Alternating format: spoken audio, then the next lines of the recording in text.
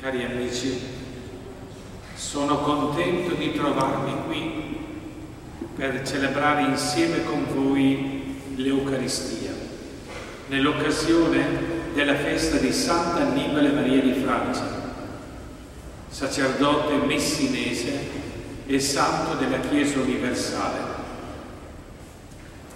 La conferenza su Annibale Maria di Francia tra preghiera, apostolato sociale, attività educativa e impegno culturale, ci ha introdotti ad una conoscenza più approfondita della personalità di questo grande figlio delle chiese di Sicilia, che sono state rafforzate nella fede con l'eroismo della testimonianza cristiana di tanti santi e beati che sono nati ed hanno portato avanti la loro opera in questo luogo benedetto dal Signore. Mi congratulo insieme con la Madre Generale, le suore figlie del Divino Zelo e con i confratelli erogazionisti, mi congratulo con l'associazione culturale Antonello da Messina, che è attiva qui in Roma da più di 50 anni, come ci è stato detto, e promuove attività culturali e religiose della città di Messina e della Sicilia. È in questo contesto che con le figlie e i figli spirituali di Santa Annibale Maria di Francia, le figlie del Divino Zero, i rogazionisti, e l'arciconfraternita Santa Maria Odigitria, dei siciliani in Roma che avete lodevolmente organizzato questa attività allo scopo di fare memoria del patrimonio di fede e di opere con la quale l'umanità è stata arricchita da personalità della Sicilia che sono come dei fari che illuminano il cammino.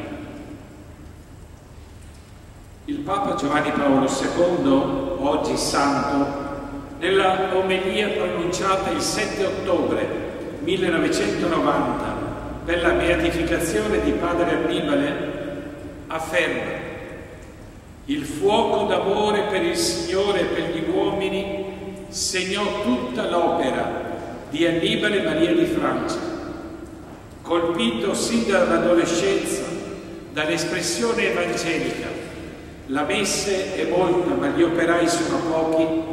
Pregate dunque il padrone della messa, perché mandi operai nella sua messe. Egli spese tutte le sue energie per questa nobilissima causa. La moltitudine di persone non ancora raggiunte dal Vangelo e il numero insufficiente degli evangelizzatori sono stati il tormento del suo cuore di apostolo e di sacerdote. Per lui ogni autentica vocazione è frutto della grazia e della preghiera, prima ancora delle pur necessarie mediazioni culturali e organizzative.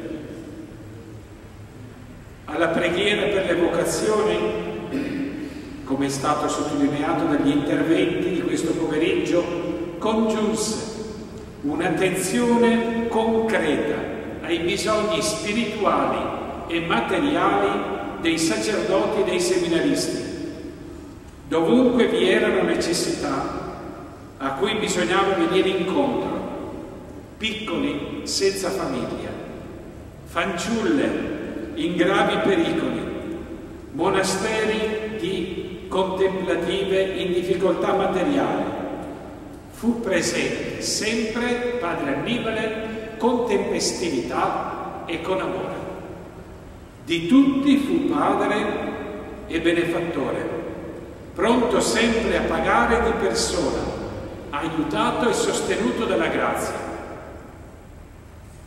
Il messaggio che egli ci trasmette è attuale e urgente L'eredità lasciata alle sue figlie e figli spirituali, possiamo aggiungere noi, ciascuno di noi, è impegnativa. Quanto emerge da queste parole del Santo Papa trova riscontro nelle riflessioni che avete poco fa condiviso sulla personalità di Padre Annibale. Guardare a Lui significa per noi recuperare una originalità del presente. La bellezza e la grandezza dei santi sta nel fatto che sono stati loro stessi nel momento in cui sono vissuti ed hanno operato. Hanno ben interpretato i segni del loro tempo. L'imitazione più alta dei santi, e nel nostro caso di Padre Annibale, è la loro originalità, cioè la loro inimitabilità Il messaggio che ci indirizzano questi santi è fate come noi, ma non imitateci, non imitateci.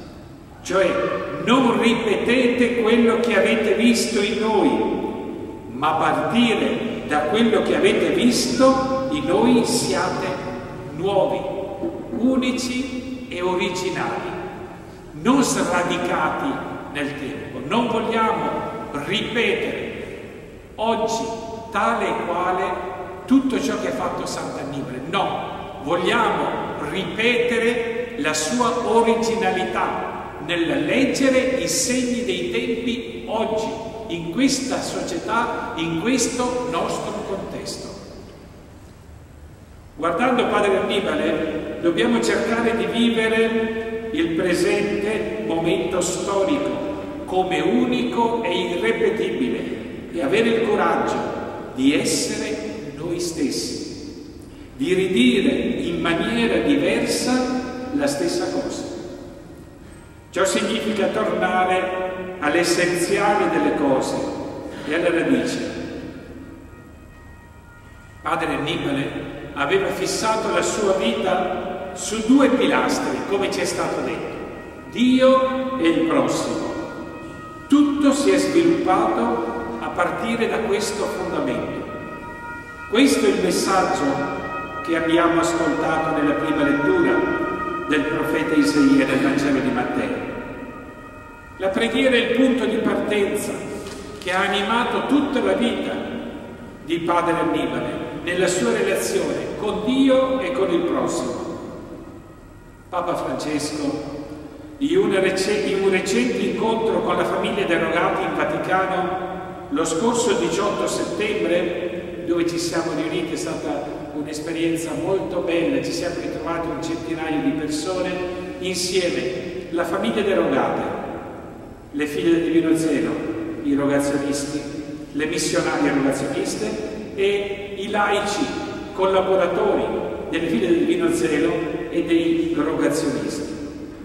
E il Papa ha sottolineato che la preghiera, ecco le sue parole, è il filo rosso che attraversa tutta la vita di Sant'Annibale.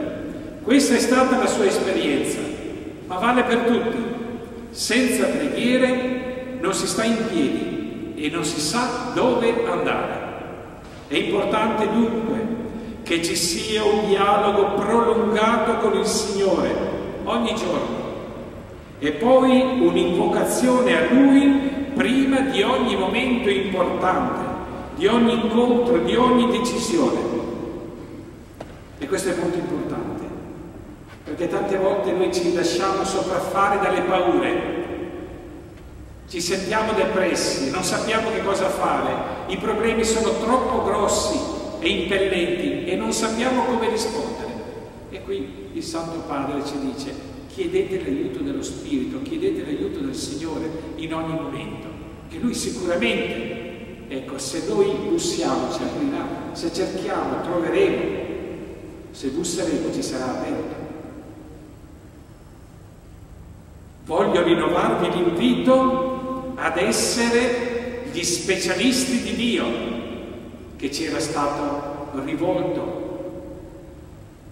da Paolo VI nel 1968 di essere gli specialisti di Dio. nelle arti della preghiera e della carità, mani giunte dinanzi a Dio e mani tese, aperte verso i fratelli e le sorelle. Molto bella questa espressione. Mani giunte nei confronti del Signore, abbiamo tanto bisogno, ma mani sempre aperte verso il nostro prossimo. E penso che è stata questa la vita di Sant'Annibale, di Madre Nazarena e di tanti figli e figli spirituali. Mani giunte, mani tese. Così si diventa specialisti di Dio. Questa è la vostra missione. Mani giunte, non incollate. Queste sono le parole di Papa Francesco che ci ha indirizzato.